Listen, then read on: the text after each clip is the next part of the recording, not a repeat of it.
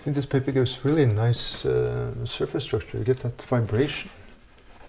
If you're interested in the paper, I can I can find out where you get it. Well, that's uh, another one of those pickup lines for um, for painters. Yes. So, where do you buy your paper?